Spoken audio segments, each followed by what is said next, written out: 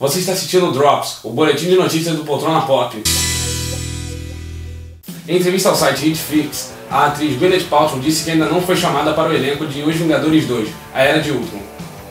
A atriz não recebeu nenhum telefonema do estúdio, dando a entender até que nem sequer sabia o subtítulo do filme. Segundo o site Latino Review, Arnold Schwarzenegger será o vilão de Avatar 2.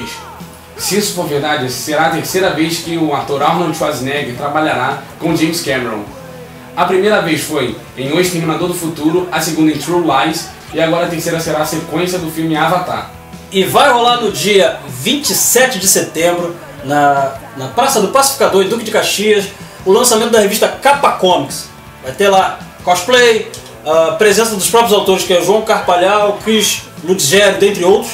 Né? Vai ter presença de cosplay, vai ter o Batmania Rio fazendo lá a exposição também, né? o pessoal bacana.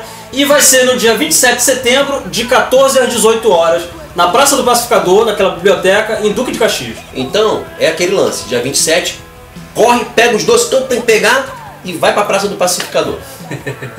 Não deixe de se inscrever no canal e curtir a fanpage do Facebook. A gente se vê amanhã.